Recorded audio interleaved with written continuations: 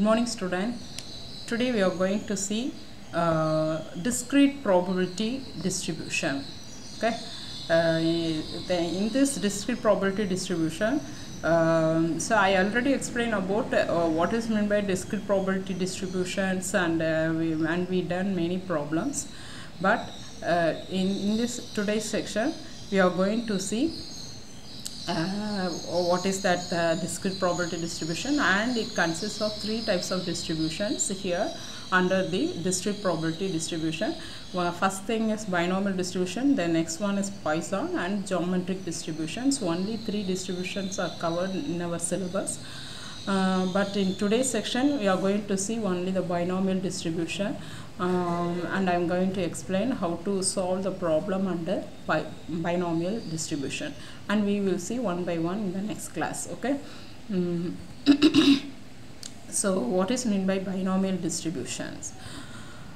Uh, so the objective of this section uh, binomial distribution is uh, I'm going to explain how to determine whether a probability experiment is a binomial experiment or not okay? First we need to uh, determine whether the probability experiment is binomial or not that one I'm going to explain. Second thing how to find the binomial probabilities using the binomial probability formula. There is a formula separate formula for each distribution. So first of all we need to identify the problem which belongs to the binomial distribution and then we need to use the probability eh, that is binomial probability formula to find the binomial probabilities okay? Then third thing I am going to explain how to find binomial probabilities using a formula and a binomial table. And then we are going to construct and graph a binomial distribution and at last uh, I'm going to explain how to find the mean variance and standard deviation of a binomial probability distribution. Uh, there is a proof for uh, mean how to find the mean variance and MGF okay moment generating function for a binomial probability distribution. That proof and all I will explain it in a separate video okay. Uh, here I'm going to use only the formula uh, for mean variance and standard deviation uh, okay uh, to find that value uh, of a binomial probability distribution. Okay, let us let me draw the binomial experiments. So the experiment is repeated for a fixed number of trials where each trial is independent of other trials. So these are all the uh, assumption we need to take uh, for the binomial experiments. So here the trial is independent of other trials. So each trials are independent to each other. Here there are only two possible outcomes uh, for each trial.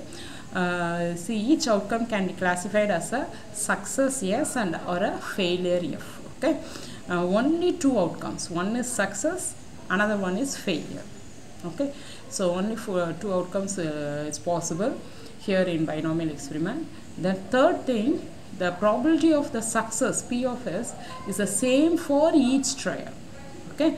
Uh, it will not get uh, different successes. For all the trial you will have the same probability of success that is p of s. Please note that we are going to denote the letter s for success and f for failure. So probability of s denotes the probability of success. Um, in um, in our books and all uh, can denote the probability of success as small p and probability of failure as small f uh, sorry q. Okay? Probability of success we can denote it as small p and probability of failure is denoted as small q. Okay? It's up to you. You can use any letter but in our books and all we, uh, we are going to use small p and small q. Uh, the next thing the, the random variable x counts the number of successful trials. Please note it. The formula we are going to use for a binomial experiment. In that formula, the x denotes the uh, number of successful trials. Okay. Uh, so these are all the symbols we are going to use. See what I have told here. Probability of success, we can denote it as P and probability of F, we can denote it as Q. Please note that if you sum up the P and Q, uh, the value should come as 1. Please note it. The value should come as 1. So I will write it here. You can understand it well.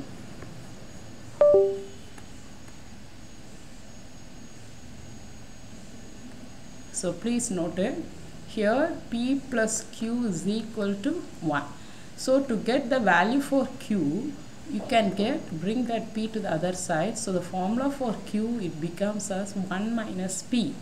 Okay? If you know any one of the value you can get the other value just subtract it from 1 and n denotes the number of times the trial is repeated and x denotes the uh, number of successful trials okay? Here the x varies from 0 to n please note it. Uh, so these are all the notations uh, for the binomial experiments okay? Uh, so we are going to identify whether the experiment is binomial or not. So decide whether the experiment is a binomial or uh, experiment. Um, just we are going to see one example. If it is specify the values of n p q and list the possible values of the random variable x. Okay? From this problem we need to specify the value for n p and q and list the possible value of x. So here the certain surgical procedure has an 85% chance of success. A doctor performs the procedure on 8 pa patients. The random variable represents the number of successful surgeries so here the value for here the binomial experiment no? Each surgery represents a trial here. There are eight surgeries. So each one is independent of the other. Then second one there are only two possible outcomes of interest for each surgery. Okay?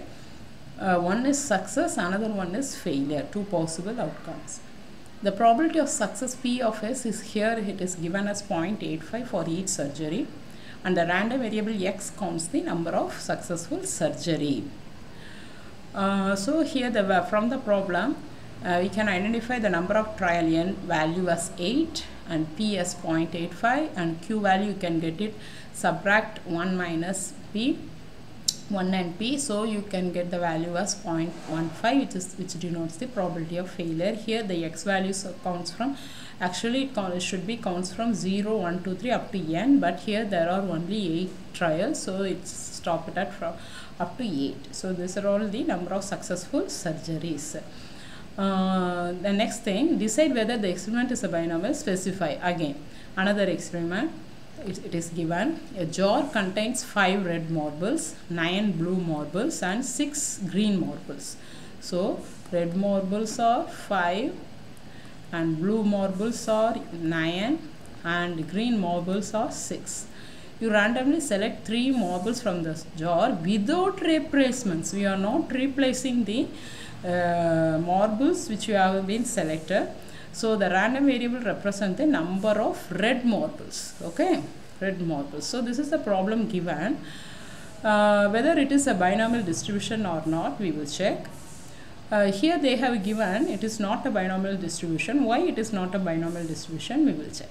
The probability of selecting a red marble on the first trial is here how many red marbles are there? So there are uh, 5 red marbles out of here total it comes as uh, 15 20 so out of uh, 20 there are 5 red marbles. The probability of selecting the red marble is 5 by 20 okay? After selecting one red marble we are not replacing. Okay? It's not replaced. So the probability of success for subsequent trial uh, you will get uh, it, it, will not. So it becomes one marble getting reduced no? So you will get the probability as 5 by uh, 19 like that. If it is a red marble it will also get reduced 4 by 19 like that.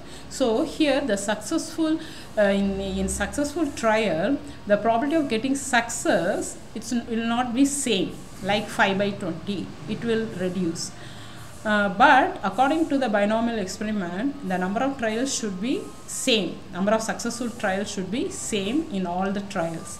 But here it is not like that. So therefore, and also the trials are not independent. It depends on the another thing because uh, we are not replacing the marble. So the first trial is independent on the another trial.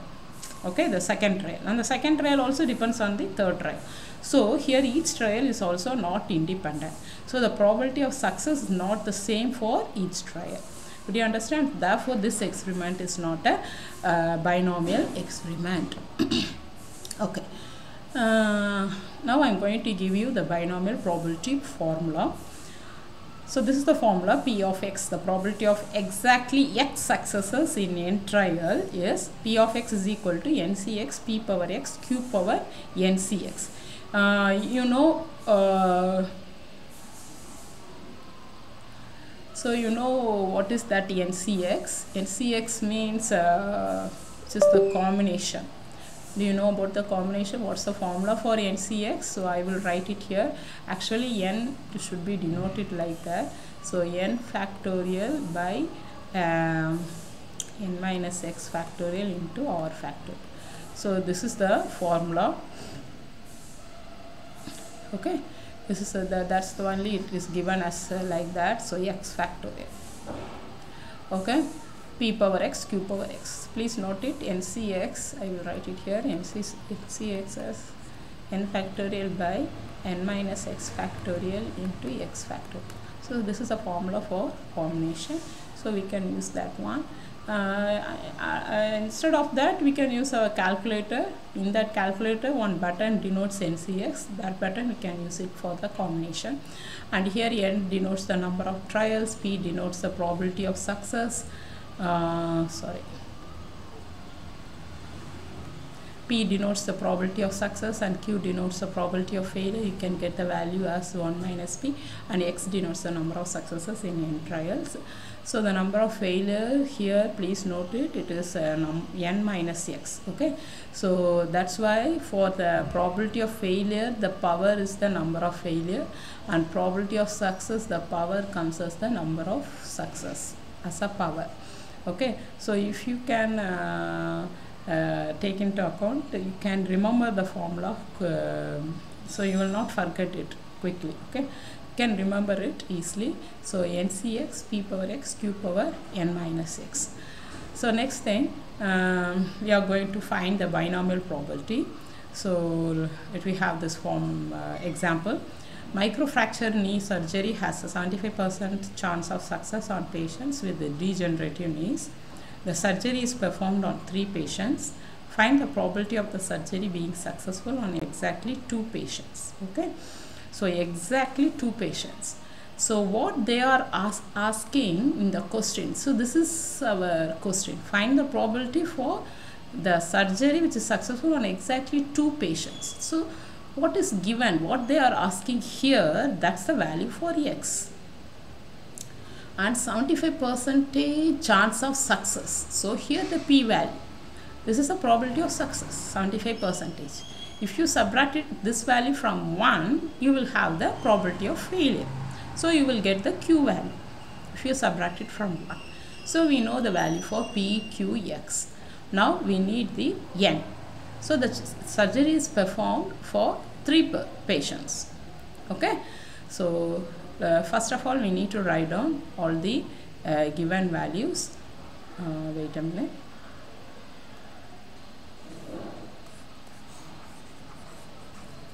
So uh, I will I will give you the tree diagram for this.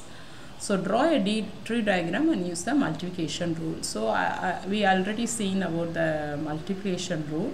So we are going to uh, use that multiplication rule after we draw this uh, tree diagram. First surgery, success, failure. Okay, there is a possibility of getting success or failure. And right?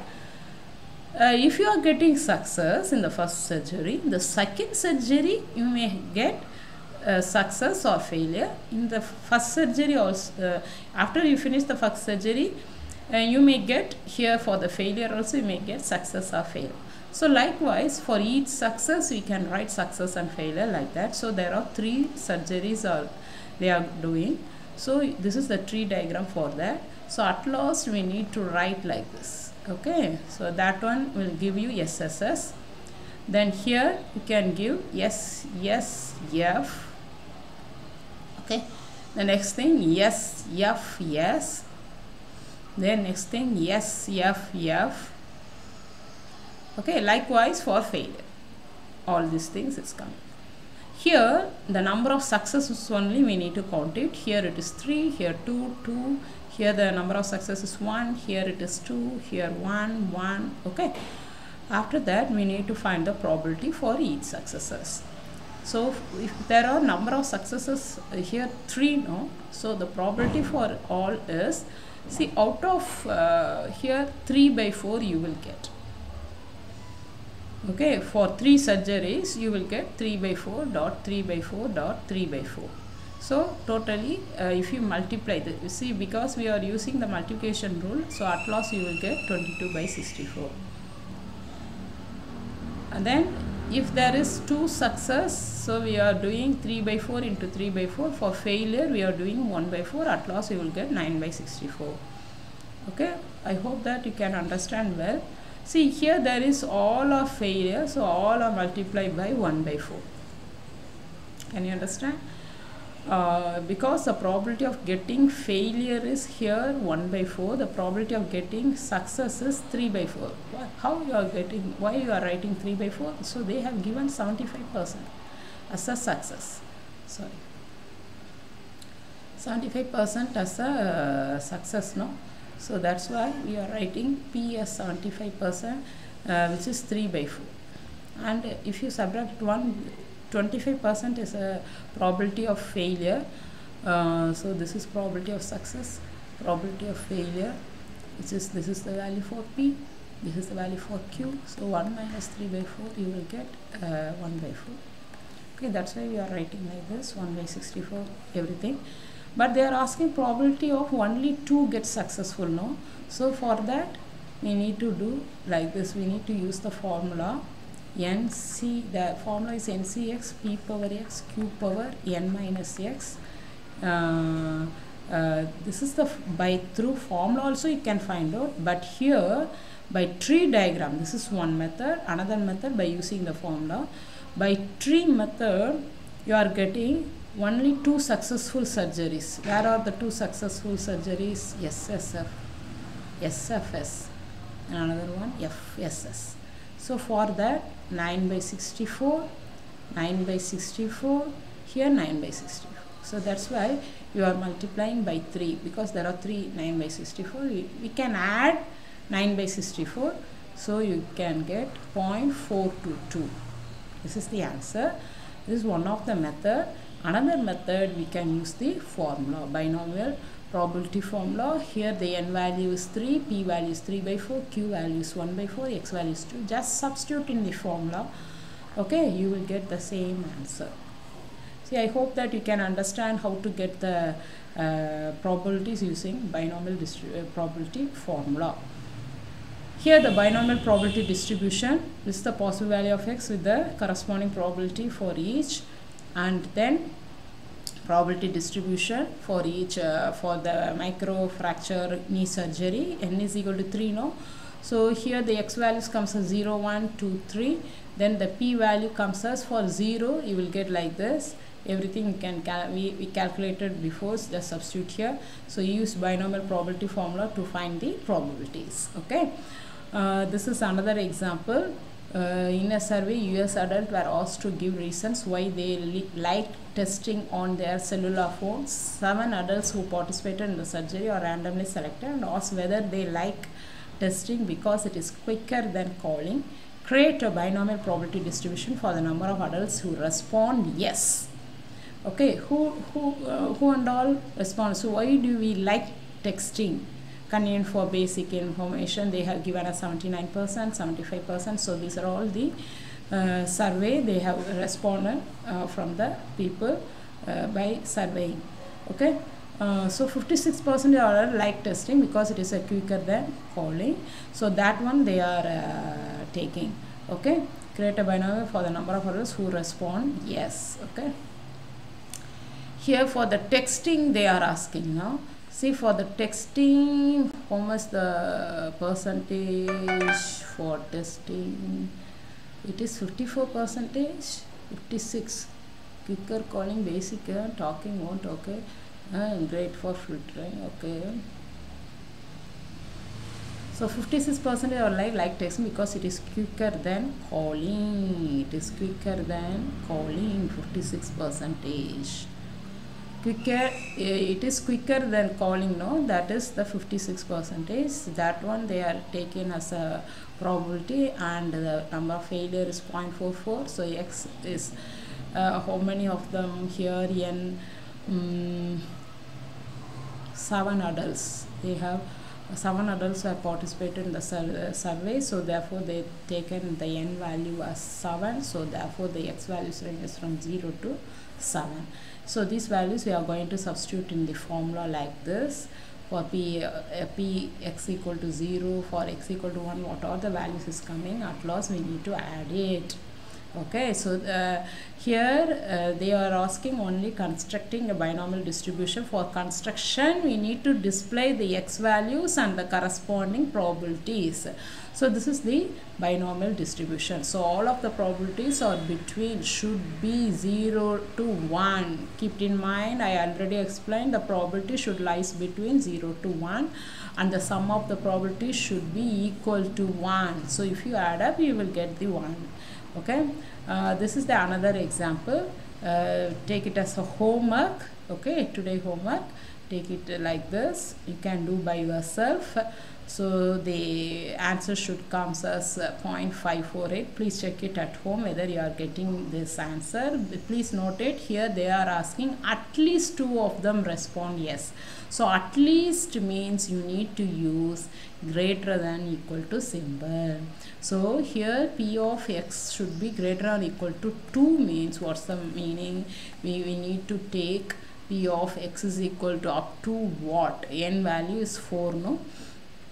So the loss value is 4 so greater than or equal to 2 mm, so x is equal to 2 plus x is p of x is equal to 3 then p of x is equal to 4 okay so these three value we need to sum up.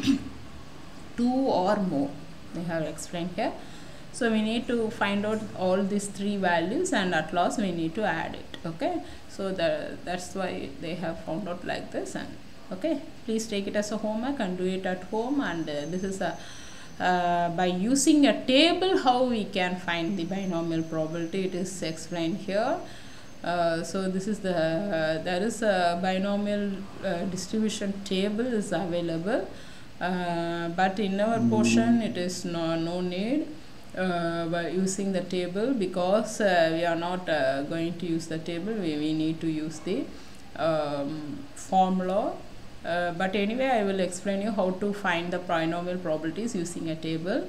Here they have given all the n value as 6 and p value as 0.30 8 workers see 8 workers uh, 10 percentage okay 10 about 10 percentage of workers in the United States. So 10 percentage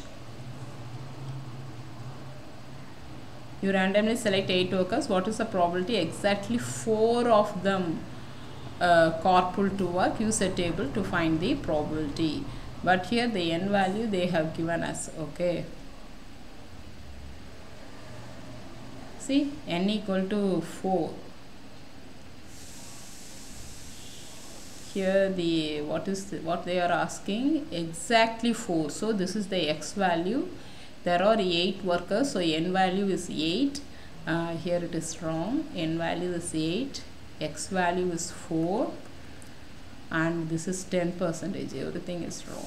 Please correct it. In the slide it is wrong. 0.10 please correct it.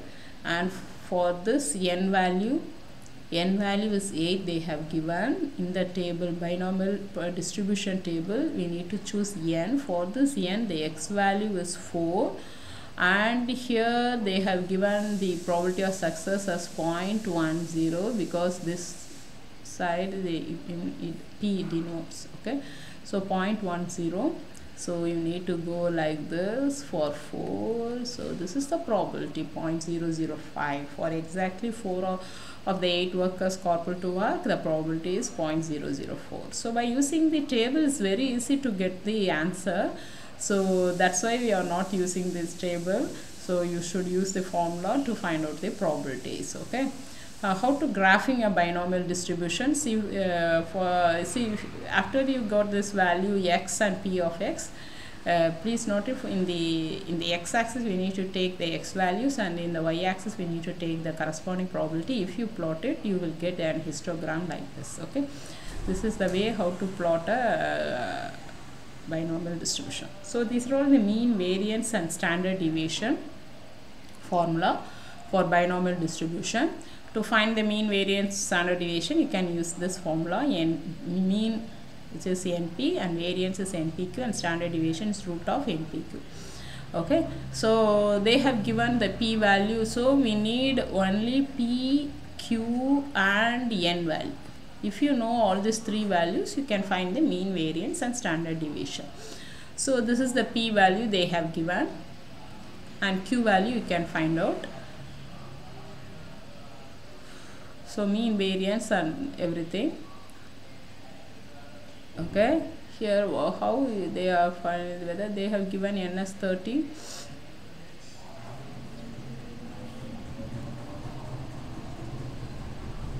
ah see the number of cloudy days during the month of june is 30 number of days is 30 no? So that's why they, they have taken as ns 30 p as 0.65 uh, 0.56 and q as 0.44 uh, so at last the mean value as mu is equal to np that's why they are getting this answer 16.8 and likewise the variance npq just substitute in that formula you will get the answer like this okay? Um, so on average there are 16.8 cloudy days during the month of June. That's the inference we are getting. The standard deviation is about 2.7 days okay? Mm so I had finished so far uh, I had explained in this section the binomial distribution uh, how to find out the binomial distribution by using two methods I had explained. One method by drawing the tree uh, then binomial tree we can draw. From that we can find by using the multiplication rule we can get the probabilities. Otherwise we can use the probability formula uh, to get the probability. Uh, second thing I had explained the how to form a probability distribution okay in a table and how to construct and uh, draw the graph for the binomial distribution. At last I had explained about uh, how to find the mean variance and standard deviation by using the formula. The mean formula is what? Is mu is equal to np and variance is uh, npq and standard deviation is root of npq okay uh, students Uh, we will see in the next class. Today's section is over. Okay see you. Bye bye